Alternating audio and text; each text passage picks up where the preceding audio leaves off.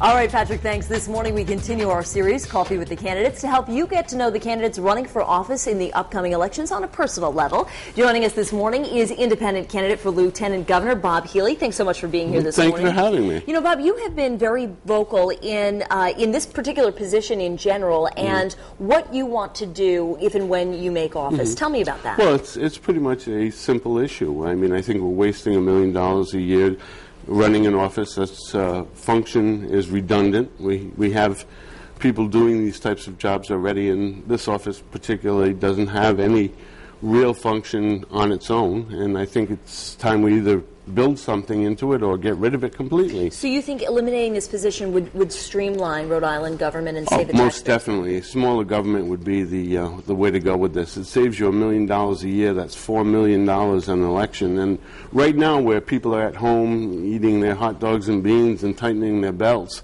I mean, it's really important that we show in government what we're asking other people to do at home.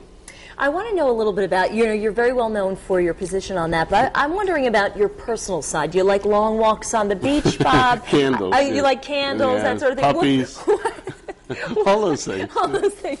What is something about uh, about you that maybe voters don't know? Well, I, I think that uh, pretty much the voters have gotten to know me. I've been around for 30 years, and I think that um, you know the public has seen a lot of it. I have a humorous side. I I can tell. No, I do. I, I, I find humor in things, and sometimes my humor is a little obscure, but I enjoy that. And I enjoy writing and um, pretty much reading things like that. Mostly factual reading, not so much novels. You're not so. You're, so you're I don't not, read much no Danielle Steel, or right? Yeah, you got it. You got the idea.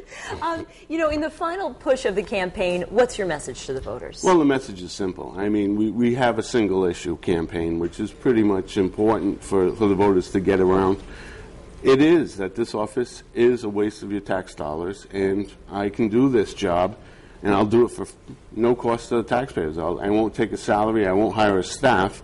I will still be the lieutenant governor if the need arises for me to step in.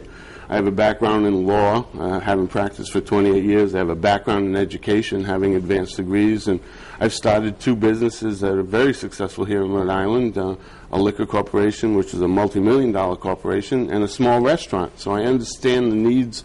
I think I understand the needs of the people of Rhode Island. Bob Healey, thanks so much for Thank being here. Thank you very much for morning. having me. It's, uh, it. it's fun. And if you'd like to learn more about Bob Healey's take on political issues, all you have to do is head to foxprovidence.com. Time now to get a check of the